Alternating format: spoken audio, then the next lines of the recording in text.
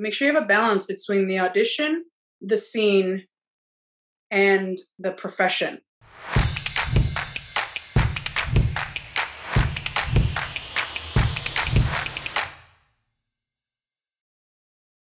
I would go to the makeup trailer, get into hair and makeup. I would make sure to say hi to everyone. Good morning, good afternoon. I would run my lines while I was in either hair or it's usually when they're doing hair because I want them to do their work too. And uh, at the time, I lit a candle and then I had three candles, and I usually set an intention for the day, for the scene work, for my spirit.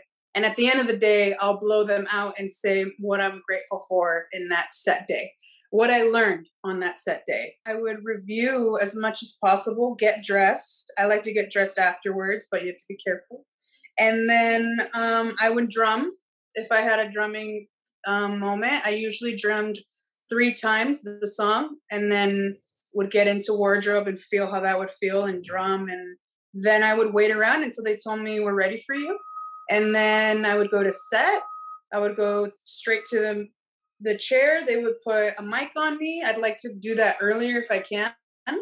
Um, because it was a very big set. There was a band, there was a family, a lot of Latinos, so it's family and like, hey, ¿cómo estás? And like, I love it. I, I absolutely love it. I'm a very bubbly person. But when I need focus, I'm I'm really internal. We would run it or talk about it with the director, and then we would have fun. And then they would say thank you when they were done with me. Then I'd be done for the day. I'd go home. I would watch the sunset to recharge because that was really necessary. Um, and then I would make sure that I'd run my lines for the next day and then I would just make sure to take really good care of myself throughout the, the day, throughout the week, until I was off on Saturdays to either rehearse or to film on Saturday and then be off on Sunday. Because with only a day and a half off, if you have a day and a half off, you need to make sure that you can keep going with that demanding production schedule. They gave me drumming lessons. So I had um, drumming lessons Mondays and Fridays for an hour. I showed up for myself every day. I rehearsed 30 minutes in the morning, 30 minutes at night, twice a day. Sometimes I rehearsed before going to my hour rehearsal with, with the productions team. Um, they also gave me a dialect coach who was amazing, Esther Corporale.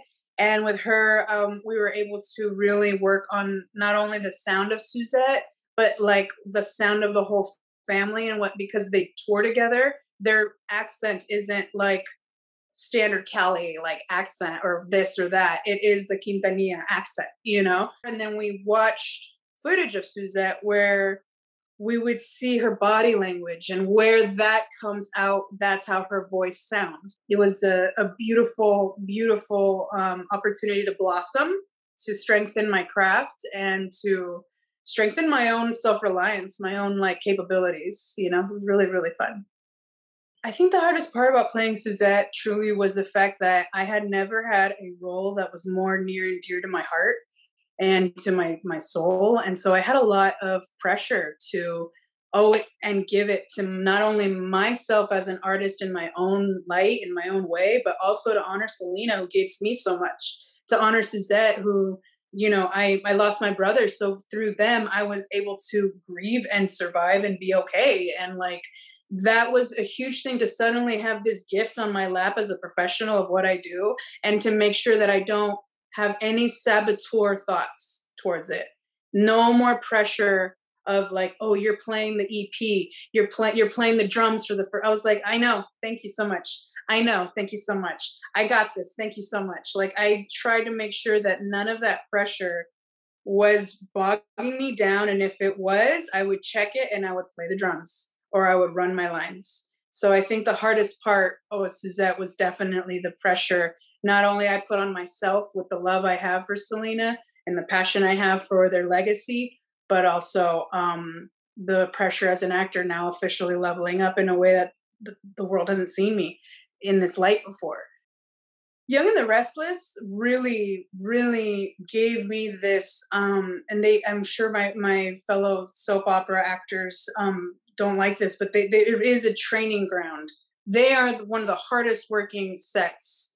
They they produce five episodes in four days. So I got to this level of seasoned, trained. I knew when to be on time. I knew I needed to be centered. I knew that I was going to focus more on the character breakdown groundbreaking scenes. If I didn't have that training ground, I wouldn't have been able to learn more and be open to learning so much in Selena. So I can't wait to see what else I get taught because it's it's it's been I've been on the, the wheel.